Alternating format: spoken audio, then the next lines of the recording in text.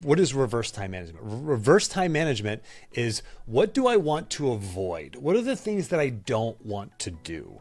Right? If you feel exhausted at the end of the day and you're not really seeing progress, it's because you're doing minutia and email and it's not the real work that lights you up and that helps you actually advance the ball. So there are certain things you want to avoid. Certain meetings you want to avoid, certain emails you want to unsubscribe from, or notifications that you want to turn off, so that you can do the things that actually matter. Do it, delay it, delegate it, or delete it. So do it, right? Just pull off, pull off the band aid and do it. Delay it. This is like minutia. For me, this is what's really worked.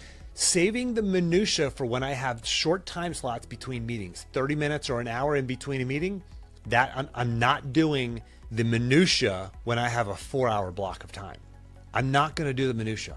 I now move that to the 30 to 60 minute windows in my calendar because that's when I can I can get the small stuff done. I can fill in, I can take care of the minutia, but those big blocks are saved for the big rocks. And when you when you have that minutia, it's going to chew up the big blocks easily. So put that in into the, the smaller windows of time.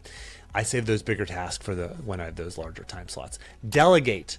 Always be thinking of who else could do this and this might be somebody on your team. You're like, Jim, I don't have a team. Hire a team. Hire, you know, I have this amazing assistant, Pauline from the Philippines, uh, and Zainar from Bangladesh. These guys have been with me for ages, and they help me. And you can hire people as well, right? You can hire virtual assistants in the United States or overseas. Uh, you might have a team. You can bring on an intern. I've had interns work with us, and I'm able to delegate to them, right? Delegate is a key one here, and then delete right? What should you flat out not be doing? We already talked about that in the prior one. What should you not do? That's the reverse time management.